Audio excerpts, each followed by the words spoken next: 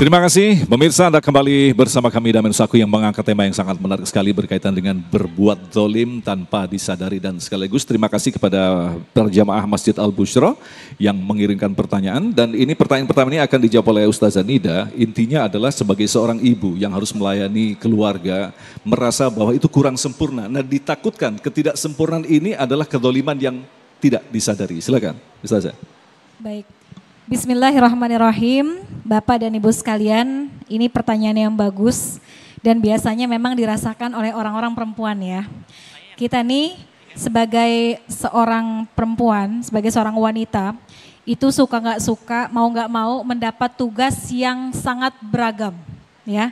Pertama sebagai seorang hamba Allah, kita harus punya waktu untuk beribadah kepada Allah.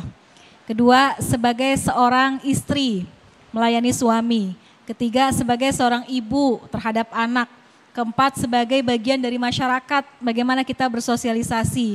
Belum lagi ada yang sebagai pekerja, apakah di kantor, ataukah sebagai guru yang harus berbagi ilmu uh, di sekolah atau di majlis salim.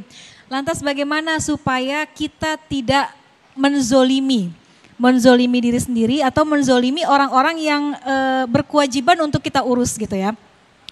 Yang pertama tentu kita harus melihat mana yang menjadi prioritas. Itu yang menjadi uh, hal yang paling harus kita utamakan. Misalnya gini, dalam satu masa rumah belum beres, misalnya ya. Kemudian kita juga harus berangkat tugas uh, misalnya sebagai seorang guru, ngajar di sekolah atau ngajar di majelis. Kalau kita mau turutin semuanya, pasti nggak akan bisa. Karena kita juga manusia punya kemampuan. Maka lihat mana yang lebih prioritas kalau kita tinggalin ngajar, kita beresin rumah, kira-kira berapa banyak orang yang kita zolimi? Karena waktunya kita memberikan ilmu, ternyata kita nggak menunaikan kewajiban kita. Nah, atau kalau misalnya kita di rumah nggak beresin rumah, apakah ada yang dirugikan gitu. Jadi mana lihat yang prioritas. Kalau memang oh ternyata urusan rumah bisa antar dulu kok gitu ya. Bisa kita tinggalin dulu, kita meremin dulu, kita pergi dulu kemudian kita tunaikan tugas kita, nanti pulang baru kita beresin rumah. Itu yang pertama. Yang kedua tentunya yang nggak kalah penting adalah support system dari pasangan kita. Nih Bapak yang gak kalah penting ya, bahwa menjalani satu rumah tangga itu dijalani bersama-sama, berdua. Bahkan di dalam Al-Quran aja Allah sudah mengatur di antaranya kata Allah, wal walidatu yurdi'na auladahunna haulaini kamilaini liman arada ayyutimma radha'ah wa 'alal mauludi lahu rizquhunna wa kiswatuhunna bil ma'ruf. Ibu-ibu yang baru melahirkan tugasnya ngurusin anak, ngasih ASI, ngegedein anak. Kalau anak eh, apa namanya pampersnya penuh ganti, kalau anak lapar kasih makan, sementara ayahnya cari rezeki dengan cara yang baik. Artinya apa? Agama sudah mengatur dua-duanya harus saling kerjasama, harus saling gotong royong, jangan dibebankan semua ke perempuan.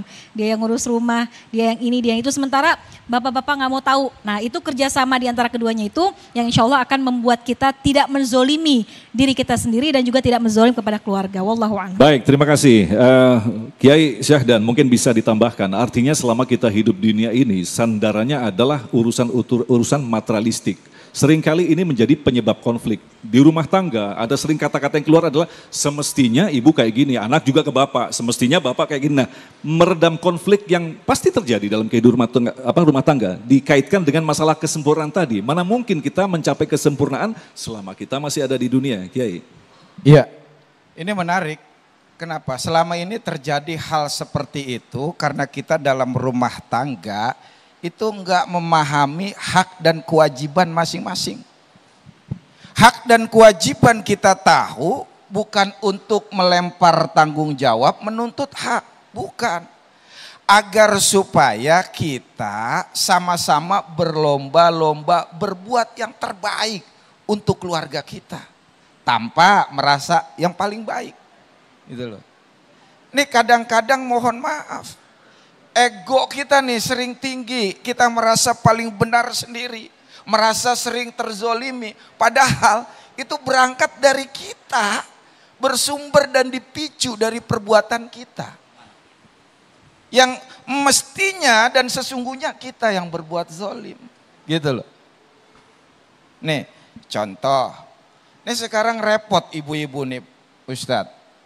sering dan lebih taat pada dokter ketimbang suaminya. Coba kalau ke dokter, ibu, tolong berbaring ibu di situ. Kira-kira berbaring nggak? Dokter loh, suruh berbaring mau aja nggak pakai nanya. Loh kok berbaring dok saya? Jangan dong dok, nggak pakai protes. Giliran diajak sama suaminya, males pak, capek. Hancur tuh begitu tuh. Suruh mangap sama dokter, mangap bu mangap, mangap itu. Benar nggak? Dokter lebih taat sama suami enggak. Ini masalahnya. Ya. Ini siapa? Pengalaman katanya. ya Allah. Itu dok, kurangin Baik. ego kita itu seperti itu. Jadi intinya adalah manajemen tahu diri begitu ya. Istri seperti apa, suami seperti apa.